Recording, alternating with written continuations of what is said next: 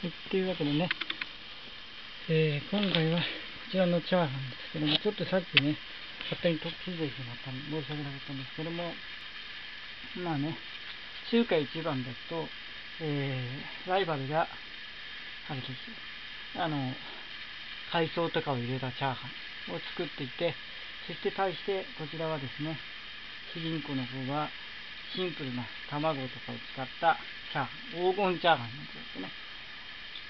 まあ、作ってみましたけども、いただきます。まあ、いただくとですね、結構ね、パラパラしてて、うまいですね。うん。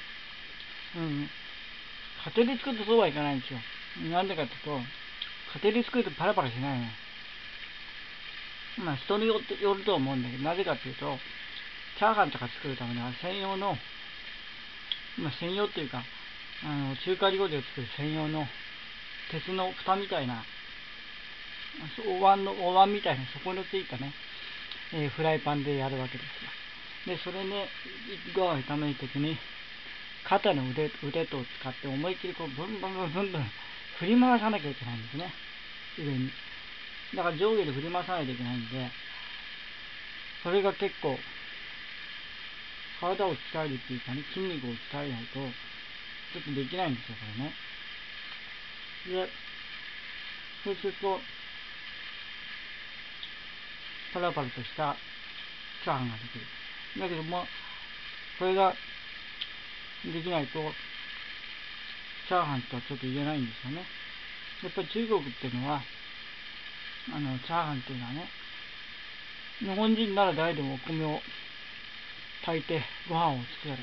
まあ、小学校低学年ぐらいの子供でもできるわけです。ということは、中国の方に行くと、ね、ご飯を炊くどころか、チャーハンをまず作れと言われるらしいんですね。料理人とかになると。で、チャーハンが基本的にチャーハンっていうのは、日本人がお米を食べるのと同じぐらい、中国ではチャーハンを食べるというのが大事なものだから、それができなければ、中国人ではない。要するに、チャーハンができなければ中国人とは言えないと。恥を知れと。もうこうなってしまうわけですね。できないとね。だから、あの、中国人として一人前になっていくためには、まず既婚であるチャーハン、これを習わされるわけですね。これができて初めて中国人と認められるらしいんです。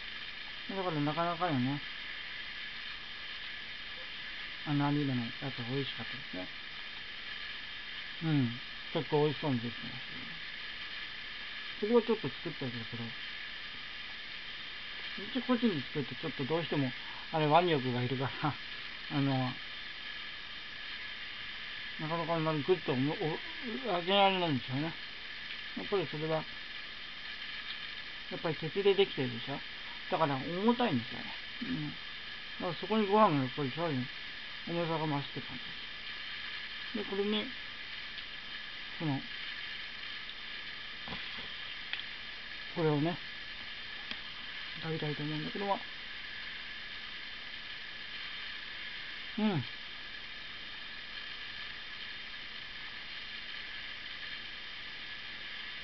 なかなかのお座りで、うん。結構いいね。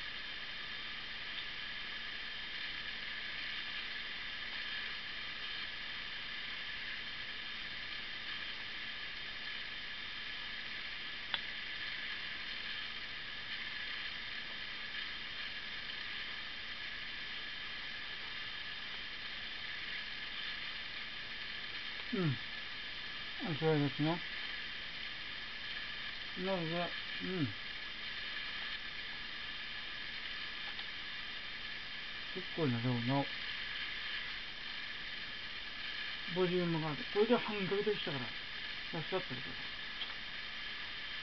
うん。結構うまいです。まあ、できれば言えばね、家で作るっていうのが一番いいんだけど、まあ、それだとチャーハンの場合は特に、パラパラ仕上げるのが大変だから、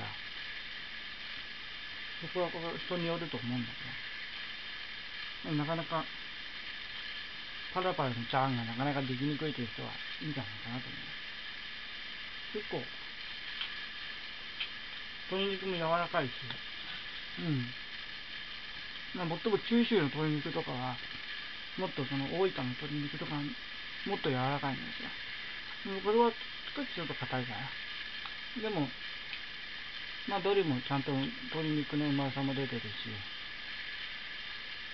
チャーハンのパラパラさと、ご飯がしっかりとくっついて、うん、これがいいなという感じでしたね。どうもありがとうございました。